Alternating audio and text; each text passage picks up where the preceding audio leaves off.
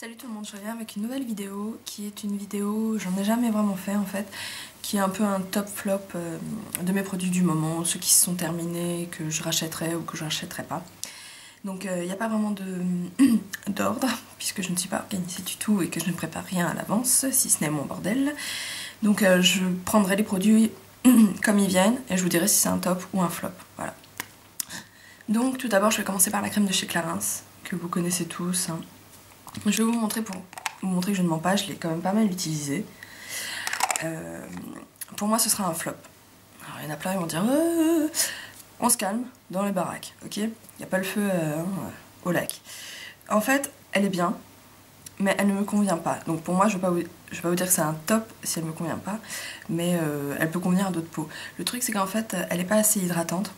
Et moi, j'ai une peau assez sèche, donc je trouve qu'elle m'hydrate pas assez le visage et elle me donne pas spécialement un, éclat euh, fantastique. Donc euh, pour moi, c'est un flop. Pour vous, ce sera peut-être un top. Ensuite, euh, il y a la crème de jour de chez Garnier, donc comme ceci, qui pour moi est un top. Donc je vous montre que je l'ai aussi utilisé. Hein. Je suis pas une mytho. Donc voilà, Faites pas gaffe à mes ongles, hein. j'ai eu un petit souci. Bah, D'ailleurs, je l'ai pas mis dedans, mais ce sera un flop. Au moins, vous le savez. Alors, cette crème-là, elle est juste géniale parce que j'ai une peau en une peau sèche, j'ai une peau qui tiraille et j'ai une peau super sensible. Donc, euh, les produits Garnier me conviennent assez pour pas mal de choses dans, cette gamme. Et euh, celle-ci, elle m'hydrate super bien la peau. Elle, euh, est géniale, elle sent bon. Donc voilà. Il ne faut pas le cliché de sentir le pot parce que je connais l'odeur. Donc là, on va pas, on va pas faire ça. Ensuite, Ici, vous avez un micro crayon chez Urban qui est le 0, donc qui pour moi est un top évidemment. Donc euh, celui-ci, je vous le montre parce que c'est la fin, c'est la fin des haricots, hein. il est en fin de vie, il est à plus que moins 0 d'ailleurs. Plus que moins 0. Notez cette phrase. Donc pour moi, c'est un des meilleurs crayons noirs que j'ai, bien que euh, dans mes tops, j'ai également mis celui-ci de chez Kiko, donc qui est un double, euh, double machin.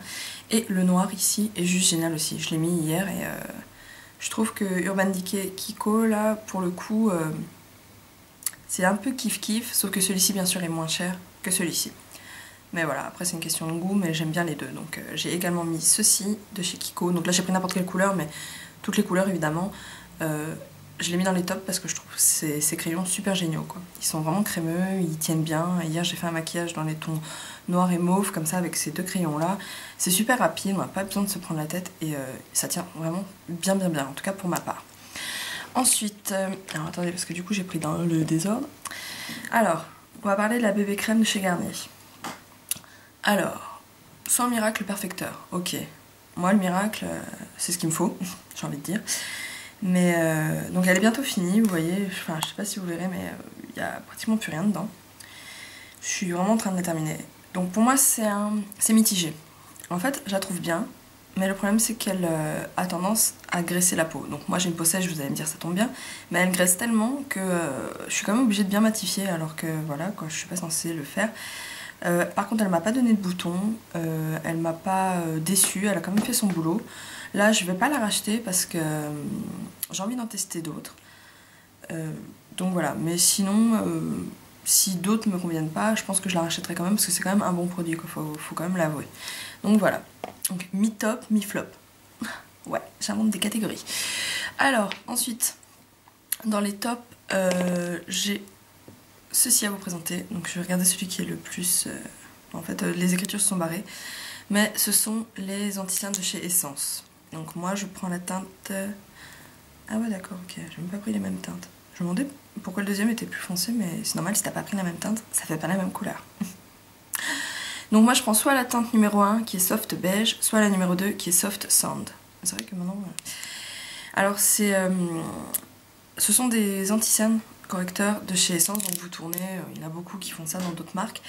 Et franchement, euh, juste géniaux. Moi je les recommande, ils vont pas dans les plis, ils font pas des trucs chelous en dessous de vos yeux, ni rien.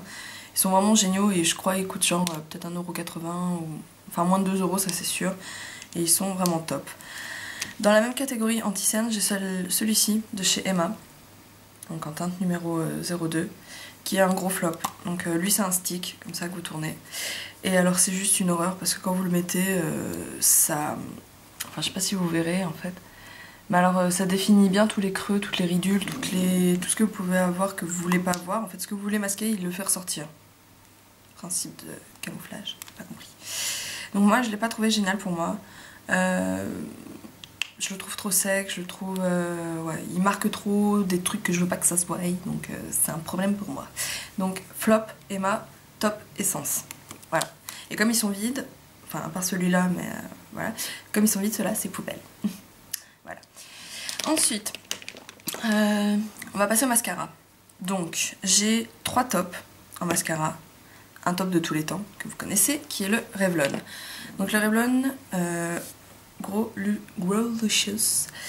voilà, qui est mon mascara de tous les temps, donc euh, je l'utilise depuis à peu près, je sais pas, un an, un an et demi. C'est une grosse brosse comme ça. Donc il n'est pas encore fini celui-là, donc voilà. C'est une grosse brosse. Il est juste génial. Il vous donne un volume d'enfer. Euh, il, étoffe bien, il fait pas de paquet, il vous fait pas un monosourcil, euh, un monosourcil, ça c'est bébé pulpeuse. Il vous fait pas un cil en fait, parce que j'ai essayé des mascaras qui euh, ne me convenaient pas. Et quand je mettais, ben, j'avais genre trois cils. Parce que ça allait regrouper ensemble, mais je sais pas, ça faisait trois cils, ça faisait un truc bizarre quoi. Donc voilà. Celui-là, c'est un top de tous les temps, je le recommande. À chaque fois qu'on m'a demandé mon mascara, je l'ai toujours conseillé. Euh, j'ai vu qu'il n'y avait pas si longtemps que ça, il y avait euh, Fadela, donc euh, B1 Inspired, qui avait fait une revue, enfin qui en avait parlé, qui en avait vanté les mérites, et je suis totalement d'accord avec elle.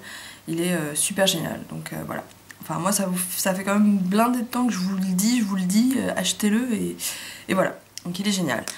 Dans la catégorie top également, il y a celui de chez Benefit, qui est le Bad Gal Lash que j'avais eu dans un coffret, euh, je sais plus quand. Donc la brosse est aussi une grosse brosse, moi je, n'aime que les grosses brosses. je ne sais pas pourquoi. Qui est, euh, alors pour être honnête, quand je l'ai acheté, première utilisation, deuxième utilisation, jusqu'à au moins la quatrième, je l'aimais pas du tout. Je me disais putain mais c'est trop de la merde. Et en fait, il fait partie des mascaras que vous devez laisser vieillir et qui, euh, en vieillissant un petit peu, deviennent super top. Donc je le recommande, vraiment il est pour moi, il est plus ou moins similaire à celui-ci. Sauf que celui-ci est plus cher, celui-ci est moins cher, celui-ci dure plus longtemps, celui-ci sèche plus vite. Je vous ai balancé plein d'infos en peu de temps. Mais ce sont des tops tous les deux. Celui-ci est vite par contre. Ensuite, toujours dans les tops, euh, celui d'Urban Decay qui était dans la palette euh, Book of Shadows numéro 4. Donc qui lui est une brosse que j'utilise normalement très peu, comme ceci en silicone. Mais vous voyez, elle est légèrement incurvée. Incurvée.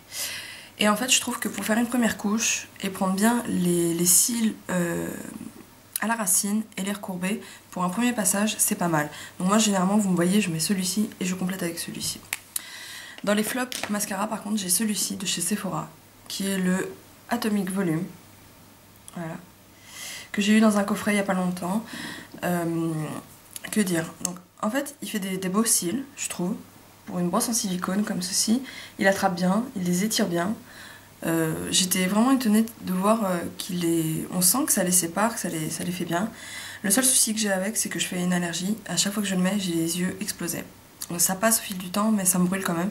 Donc je pense que je suis allergique à ce mascara-là. Donc il est plein, donc ça m'embête de le laisser vieillir. Donc soit je vais le donner à quelqu'un, euh, ou je sais pas, je l'ai utilisé, je crois, deux fois. Et deux, trois fois même. Et il est quand même plein parce que j'en mets pas beaucoup, généralement je mets en complément, mais il me fait une allergie. Donc voilà. Donc si vous aussi ça vous est arrivé, ben n'hésitez pas. Ensuite on va essayer d'accélérer le mouvement. Dans les flops, il y a ceci qui est de chez Sephora, qui est donc un fixateur de maquillage, qui est juste trop naze parce que quand vous appuyez comme ceci, bah voilà, bah de toute façon vous, avez vu, hein, je vais pas vous mentir. C'est pas un spray, c'est pas Quand je fais comme ça, j'ai l'impression qu'il y a quelqu'un qui m'a craché dans la gueule ça c'est pas une brume voilà. C'est vraiment un jet. Et euh, je trouve que c'est pas pas génial. Donc euh, flop. Euh, ensuite on va passer au fond de teint qui, que j'aime beaucoup. Donc qui est le 24 heures Superstay de chez Maybelline. Donc il est bien. Je l'ai terminé donc lui ce, ce sera un un CDI parce que je pense que je le reprendrai euh, parce que j'aime pas mettre tout le temps mon fond de teint Lancôme ça coûte quand même cher et j'aime bien varier pour que ma peau euh, voilà elle change un peu aussi de texture et euh, celui-ci est pas mal et il tient vraiment longtemps. Ensuite on va passer maintenant au blush. Donc c'est pas des blushs proprement dit mais je les utilise comme en tant que tel. Donc il y a celui de chez Gauche comme ceci qui est en teinte 02 donc ça se présente comme ça Et euh, donc vous voyez, vous avez plusieurs couleurs, donc il faut les mélanger ensemble. Et euh, il a un côté irisé un peu. Donc en fait, j'aime beaucoup. Je sais pas si vous verrez là, mais ça a un côté irisé, même le mettre ici, que j'aime beaucoup en fait. Donc c'est vers là, mais moi je vois pas très bien avec la lumière. Et il est pas mal, donc ça c'est un, top. Toujours dans les tops, j'ai celui-ci de chez New York Color qui est juste génial. Donc c'est la mosaïque euh, de teint 725A, la référence, rose glow. Et donc bon, moi je l'ai fait tomber, hein, donc faites pas gaffe, vous allez voir la tête du truc. Je l'ai fait tomber avec ma maladresse. Mais ça donne un côté un peu glowy, c'est vrai, et dans les tons roses, donc j'utilise euh, pas mal euh, comme, comme blush, et c'est celui que j'ai mis aujourd'hui. Donc voilà. Ensuite, euh, j'ai pas beaucoup de flops, hein, pour être honnête, euh, voilà. Euh, dans les tops également, j'ai la poudre de chez Essence, qui est la poudre matifiante. Donc cherchez pas, hein, essayez pas de lire, on voit plus rien. Qui est en teinte 01. Donc celle-là aussi, elle est cassée, mais il me reste plus grand chose, donc je pense qu'elle va partir à la poubelle. Mais je la rachèterai sans, sans aucun problème, parce qu'elle est vraiment matifiante, et il y a des fois où ma peau, qui est très sèche, devient une peau légèrement mixte. Donc ça, sert bien quoi. Ou même pour fixer l'anti-cerne ou des choses comme ça, c'est pas mal. Ensuite, euh, je vous dis, c'est vraiment dans, le truc à l'arrache. Non, je vais quand même prendre dans l'ordre parce que là, ça fait n'importe quoi. Donc dans les top, super top que j'adore, il y a ma poudre de chez euh, Bourgeois, donc la Biodétox comme ceci. Donc moi je la prends en teinte 56. Donc c'est ce que je mets par-dessus mon fond de teint. Donc ça se présente comme ceci. Vous ouvrez, vous avez un miroir qui est genre One Against to Fly. Vous voyez, celle-ci, elle est finie. Hein, donc euh, voilà. les crados, ok.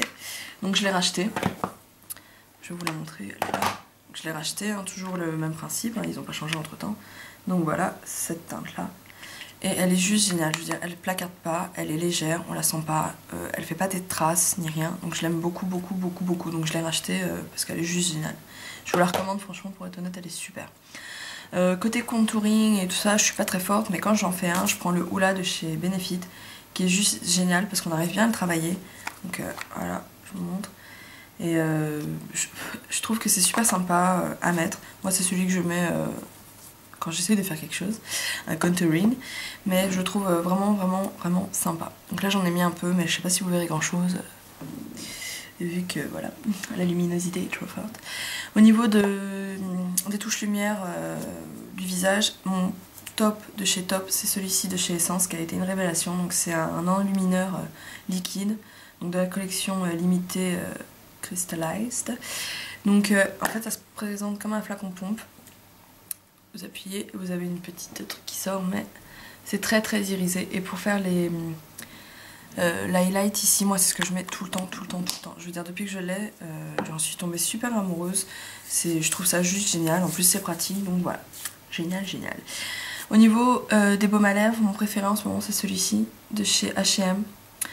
Donc euh, qui est à la vanille et au gingembre, qui est genre juste super génial. Donc c'est un baume à lèvres et il est vraiment euh, très très très très très bien. Vous voyez c'est un gros gros truc quand même. Voilà. L'odeur par contre elle est à tomber, je vous le recommande. Et même le noir, l'autre c'est pomme je sais plus quoi, et génial aussi. Donc ça dans les tops également. Dans les tops il y a cette crème de pied de chez, je passe des lèvres aux pieds de chez euh, The Body Shop qui est euh, au chanvre. Donc euh, bon, je l'ai déjà utilisé, vous voyez. Enfin, logique, hein, parce que sinon je pourrais pas vous dire qu'elle est bien, mais elle est genre juste géniale.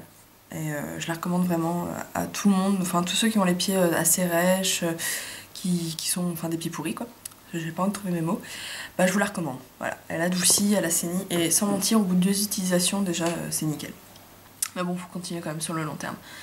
Euh, au niveau des rouges à lèvres, donc celui-ci de chez Essence, mon nude, que je vous montrer euh, dans la vidéo précédente, un top. Au niveau euh, des fards à paupières, mon top du moment c'est la Black Palette de chez Urban Decay, donc celle-ci, franchement je m'éclate avec, les couleurs sont juste sublimes.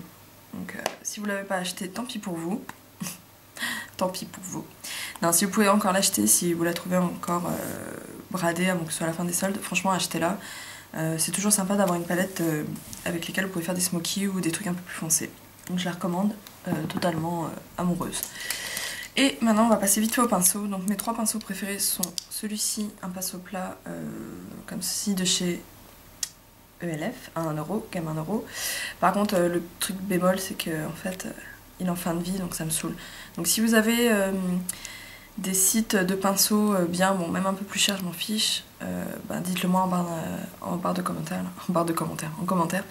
Ensuite il y a celui-ci qui est je crois que je me rappelle plus les noms parce qu'ils sont effacés, Creuse, machin bidule, enfin bon, pour faire le creux et tout. Hein, la gamme à 1€, donc j'utilise toujours ces trois pinceaux, je vais poser celui-là. Ces trois pinceaux là, c'est ceux que j'utilise tout le temps pour tous mes maquillages. Et celui-ci, c'est un pinceau estompeur, donc ils sont tous sales, hein, parce que je les ai utilisés, je vais pas me justifier. Euh, de chez H&M, qui est genre juste terrible. Franchement, je le recommande à tout le monde. Il coûte 1,95€ euh, je crois, et il est euh, vraiment, vraiment génial. Donc je l'ai pas encore... Enfin, il n'y a pas de référence. On m'a demandé plein de fois les références, il n'y a pas de référence en fait. Regardez juste, vous verrez qu'il ressemble à ça. Et voilà quoi. C'est marqué juste H&M dessus. Donc génial. Vous voyez, là j'en ai pour 3 euh, euros, non 95, allez on va dire 4 euros pour arrondir. Et euh, c'est des pinceaux avec lesquels je me maquille tout le temps et vous voyez le résultat. Alors euh, les connards qui vont me dire ouais résultat il est pourri, ben je vous emmerde. Donc voilà. Et dans les flops de pinceaux, il y a celui-ci de chez Sephora. Donc c'est une grosse merde. Moi je l'aime absolument pas, il est rétractable. C'est un truc pour les fonds de teint. Je l'aime pas du tout. Je veux dire, j'ai essayé d'appliquer, vous voyez déjà que en fait le pinceau, comment dire, euh, il, se sépare quoi. Je sais pas comment dire. On dirait des cheveux gras dégueulasses comme ça. Non, j'aime pas. Franchement, j'aime absolument pas le rendu ni rien. Donc, euh, gros flop. Heureusement, je l'ai payé vraiment pas cher. Je voulais tester en fait, justement. Et gros flop euh, pourri. Donc, voilà, voilà. Donc, cette vidéo sera super longue. Je vais la couper. Je vais la. Mais c'est en gros tous mes favoris quoi, du, du moment et quelques flops. Donc, voilà. Je fais plein de gros bisous. Je vous dis à très bientôt. Ciao.